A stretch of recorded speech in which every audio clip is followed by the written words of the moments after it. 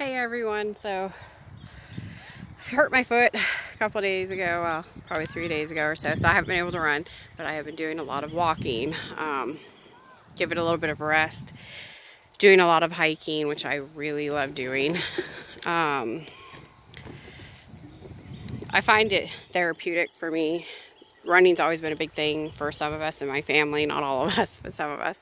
So with the loss of my son two months ago, it's been really therapeutic. So without running, I've been switching over to hiking. I am today on the Erie to Pittsburgh Trail. I don't know if you can see the sign, but anyways, it's a nice little trail area. A lot of it paved. Um, road areas too.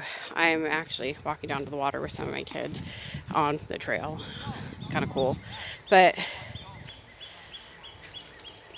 as I record my journey and like tell my story of how I'm I'm literally surviving after losing my son, you know. Good job. You'll kind of hear bit, bits and pieces of my kids' stories. Um, I don't really put in videos or pictures for their own for their own protection because it, everybody has their own story to tell. So